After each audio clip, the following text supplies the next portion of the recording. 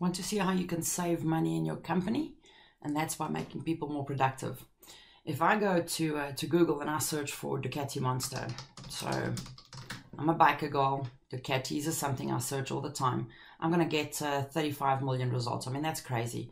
Google Analytics tells us that only 7% of people goes to the second page of Google results, which obviously I think is accidental. And then 50% of us never click outside of the first three results, which means that if I didn't get what I was looking for in the first three results, I've most probably wasted my time.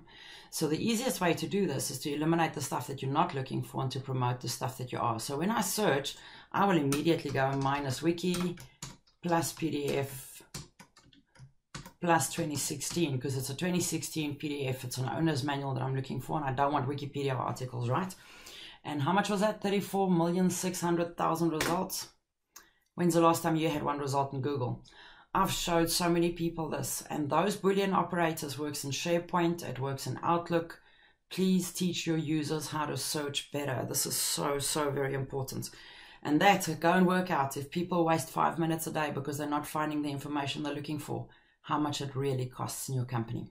Chat soon.